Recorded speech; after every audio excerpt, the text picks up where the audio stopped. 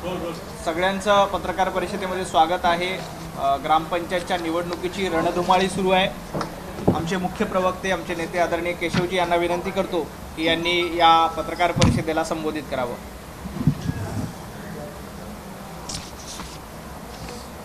सर्व पत्रकारांचं मी मनापासून स्वागत करतो. माझा सहकारी आमचा मीडियाचा प्रमुख नवनाथ बन इथे आहे आणि आपण पत्रकार सगळे. या सगळ्यांचं मी मनापासून स्वागत करतो. आपल्या सगळ्यांना माहिती आहे की दोन दिवसापूर्वी ग्रामपंचायतीच्या निवडणुका झाल्या. महाराष्ट्रातल्या बहुतांशी जिल्ह्यामध्ये या निवडणुका होत होत्या. आणि आत्ता हे निकाल हाती येत आहेत. आत्ता मी जस्ट इथं येण्यापूर्वी मी आकडेवारी घेत होतो. महाराष्ट्राच्या विविध जिल्ह्यांमध्ये या ग्रामपंचायतीच्या निवडणुकांमध्ये जी आकडेवारी समोर येते त्या निवड त्या आकडेवारीनुसार भारतीय जनता पार्टी निर्विवादपणे नंबर एक आहे आणि इतर सर्व राजकीय पक्षांपेक्षा कितीतरी पटीनं पुढे आहे. मी आत्ता पत्रकार परिषद सुरू होण्यापूर्वी म्हणजे अगदी अकरा पंचावन्न अकरा अठ्ठावन्नपर्यंत आकडेवारी घेत होतो. दोन हजार तीनशे एकोणसाठ ग्रामपंचायतीच्या निवडणुका झाल्या. आणि आत्तापर्यंत जवळपास सातशे तेवीस ग्रामपंचायतींचे निकाल हे स्पष्ट झालेत. आणि या सातशे तेवीस ग्रामपंचायतीच्या निवडणुकांपैकी भारतीय जनता पार्टी ही निर्विवादपणे नंबर एक म्हणजे दोनशे दहा ग्रामपंचायतींमध्ये भारतीय जनता पार्टीला यश मिळालं आहे माननीय शिंदेसाहेब शिवसेना यांना एकशे दहा राष्ट्रवादी अजित पवार एकशे एकवीस काँग्रेसला पासष्ट शरद पवार गट एकावन्न आणि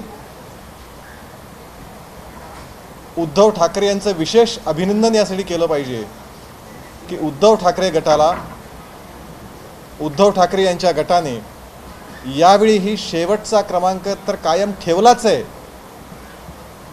पण पन्नाशी पण या उद्धव ठाकरे गटाला गाठता आली नाही. या साडेसातशे सातशे तेवीस ज्या ग्रामपंचायत निवडणुकांचे निकाल लागले त्यात उद्धव ठाकरे गटाला जेमतेम चौतीस ठिकाणी यश मिळालंय. आणि म्हणून रोज सकाळ सकाळी सकाळी या सरकारवरती अकांतांडव करणाऱ्या संजय राऊत यांच्या पक्षाला महाराष्ट्रातल्या जनतेने स्पष्टपणे नाकारलं हा या निकालाचा अर्थ आहे. सगळ्यात महत्त्वाचा निकालाचा अर्थ काढायचा असेल कारण हा आत्ता जवळपास वन थर्ड ग्रामपंचायतीचे निकाल आलेत. भारतीय जनता पार्टी नंबर एक आहे आत्ता आणि ती पुढे एक राहील अशी चिन्ह आत्ता आहेत. जर या ग्रामपंचायत निवडणुकांचा अर्थ काढायचा तर राज्यामध्ये जे एक दमदार सरकार काम करतं आहे उपमुख्यमंत्री देवेंद्रजी फडणवीस मुख्यमंत्री एकनाथ शिंदे उपमुख्यमंत्री अजित पवार या तिघांच्या सरकारला महाराष्ट्रातील जनता ही घव ही समाधानी आहे आणि घवघवीत यश या महायुतीच्या पदरात महाराष्ट्रातील जनता टाकते असं आत्ताच्या आकडेवरून दिसतंय. या सातशे बावीस तेवीस ज्या ग्रामपंचायतीचे निवडणूक निकाल आलेत जर महायुती म्हणून आम्ही विचार केला तर महा महायुती आणि काँग्रेस महाआघाडी ही जी काय आहे उद्धव ठाकरे गट शरद पवार गट आणि काँग्रेस या तिघांच्यामध्ये महायुतीची जागा या महाआघाडीपेक्षा तिप्पट आहेत. जवळपास चारशे बत्तीस या तिन्ही पक्षांच्या मिळून चारशे बत्तीसपेक्षा अधिक ग्रामपंचायती जिंकल्यात. आणि महायुतीच्या पदरात जेमतेम दीडशे जा महाआघाडीच्या पदरात जेमतेम दीडशे जागा आत्ता आहेत. आणि म्हणूनच ही निवडणूक महाराष्ट्रातल्या जनतेसाठी ही महत्त्वाची होती. आणि विरोधक सातत्याने हे सांगत होते की बघा निवडणुका घेऊन बघा दूध का दूध पाणी का पाणी होऊन जाईल. सत्य काय समोर येईल? भाजपाला प्रणित जी महा महायुती आहे तिला यश नाही अशा प्रकारच्या गप्पा वल्गना संजय राऊत असतील शरद पवार गटाचे विविध नेते असतील उद्धव ठाकरे गटाचे विविध नेते असतील हे दिवस रात्र करत होते.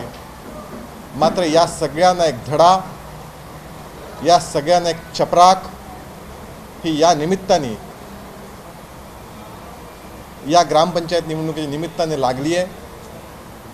यापूर्वी म्हणजे गेल्या दहा वर्षामध्ये ज्या ज्या वेळी महाराष्ट्रामध्ये निवडणुका होत आहेत या सर्व दहा वर्षाच्या सर्व निवडणुकींचा निकाल जर आपण काढून बघितला मग ती लोकसभेपासून ते वेगवेगळ्या ग्रामपंचायतपर्यंत मग विधानसभा आहे मग त्याच्यानंतरनं जिल्हा परिषद आहे नगरपालिका आहे महानगरपालिका आहे ग्राम यापूर्वी झालेल्या ग्रामपंचायतीच्या निवडणुका आहेत.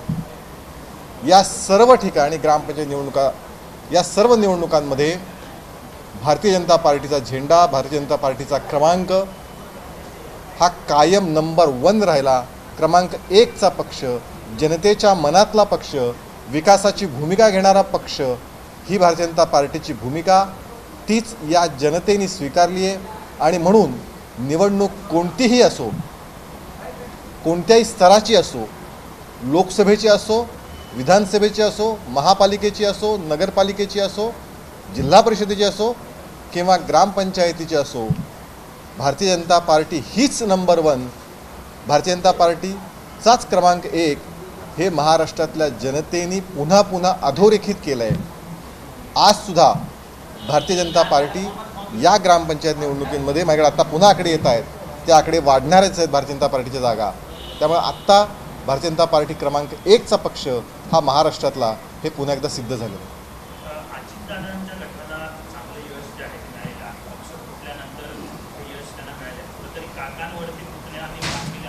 मला खरं तर सांगायला आवडेल म्हणजे मगाशी एक तो सांगायचं राहिला की मी वेगळ्या ठिकाणी कुठे कुठे मोहोळ उदाहरणार्थ मोहोळ हा कधी काळी पश्चिम महाराष्ट्रातला शरद पवारांचा शरद पवार गटाचा शंभर टक्के प्रभाव असलेलं क्षेत्र होतं.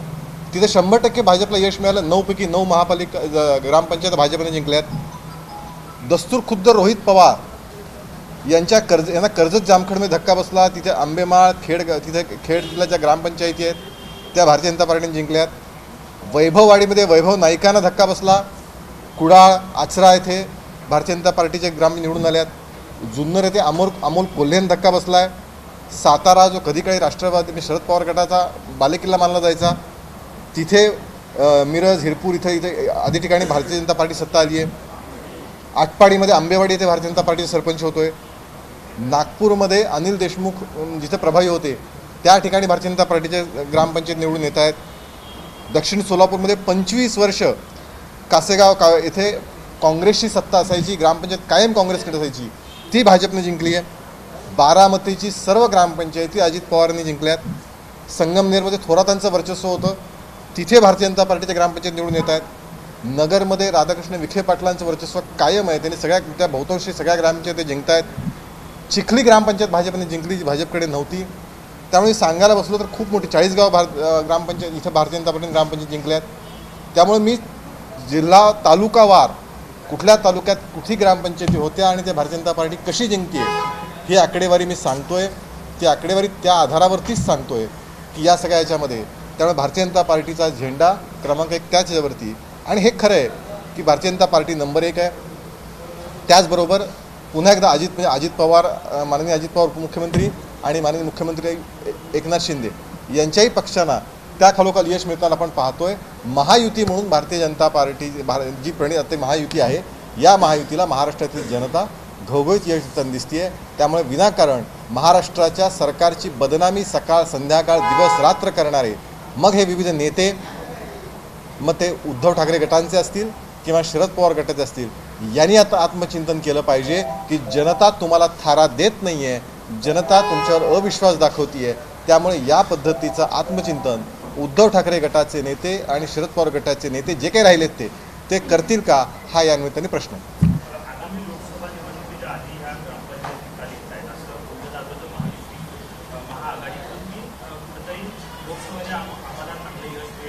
चांगल्या जागा भाजपपेक्षा आमच्या जास्त निवडतील त्याचे दावे केले जाते काही सर्वे सुद्धा तुम्हाला आलेले होते. त्याला सगळ्याला हे उत्तर आहे का मला असं वाटतं खोटे सर्वे मधल्या काळात महाआघाडीकडून करण्यात आले होते. आणि दावे तर काय काही नशापाणी केल्यानंतर जे दावे करण्यात येतात तसे दावे संजय राऊतपासून अनेक काँग्रेस उद्धव ठाकरे गटाचे आणि शरद पवार गटाचे नेते करतच असतात.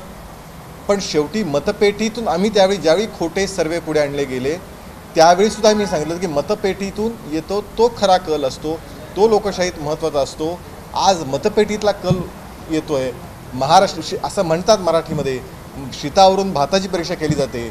आज ग्रामपंचायतीच्या निवडणुकीच्या निकालाच्या निमित्ताने एका अर्थाने महाराष्ट्रातल्या जनतेचा कौल हा कुणाकडे? हा लक्षात येत आहे आणि म्हणून जो आम्ही पंचायत प्लसचा दावा केला होता आज ग्रामपंचायत निवडणुकीतही भारतीय जनता पार्टीच्या पाठीशी जनता उभी आहे. आज जी विकासाची कामं ही अत्यंत वेगाने महाराष्ट्रात सुरू आहे. त्या ग्राम त्या विकासालाच एका अर्थाने ग्रामपंचायतीपासून महाराष्ट्रातली जनता दाद देते सपोर्ट करते पाठिंबा देते हे म्हणावं लागेल. एबीपी माझा. उघडा डोळे बघा नीट.